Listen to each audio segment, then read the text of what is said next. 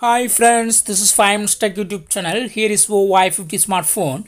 In this video, we learn how you can take screenshot by accessibility menu in your phone Y50. First of all, go to the settings smartphone here and select shortcuts and accessibility. Now click on accessible. Here click on accessibility menu and turn on the button against accessibility menu.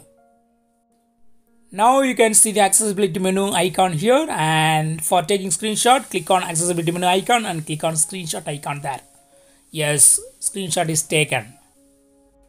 To take long screenshot you should have longer page. I go to settings page itself and click on screenshot icon here and click on long screenshot in the captured image and you can scroll the image now just scroll like this and yes this is long screenshot in this way also you can take long screenshot using accessibility menu.